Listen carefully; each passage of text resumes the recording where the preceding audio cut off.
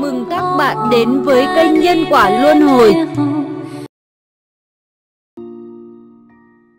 Lá thư độc giả Kính sư cô, con xin báo một tin vui để sư cô mừng cho con và cũng để sư cô phấn khởi khi biết công lao dịch thuật của sư cô đã giúp cho đời và giúp cho người vô cùng trọng đại. Chắc sư cô còn nhớ, hơn hai năm trước, mắt trái của con đỏ và chảy nước mắt, nóng rát vô cùng. Bác sĩ nhãn khoa ở Mỹ đã tận lực chữa cho con mà không khỏi, còn 20% là mù hẳn. Sau khi đọc về thanh xà bạch xà trong câu chuyện Nước tràn Kim Sơn Tự, nơi sách báo ứng hiện đời tập 3 của sư cô dịch, thì một niềm hy vọng lé lên.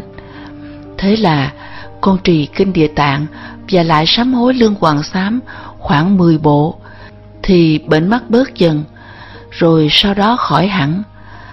Tới giờ tính ra đã gần 3 tháng rồi.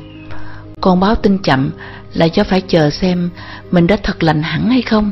Đến giờ thì chắc chắn bệnh đã lành hoàn toàn rồi. Hiện tại thì con thấy đường rất rõ dù lái xe ban đêm. Bác sĩ chữa mắt cho con cũng là một Phật tử thuần thành. Sau khi nghe con tâm sự, cô ta ôm chầm lấy con mừng rỡ. Cả thầy thuốc và bệnh nhân đều rơi nước mắt. Một lần nữa, con xin tạ trọng ơn sư cô và kính chúc sư cô sức khỏe. NT 25 tháng 10 năm 2014 Lời gửi dịch Trên đây là lá thư của một nữ độc giả ở Mỹ từng dạy cho các sinh viên Mỹ nay đã về hưu.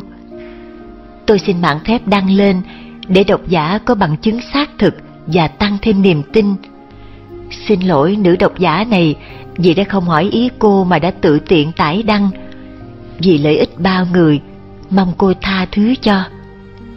Dịch giả ngày 25 tháng 12 năm 2014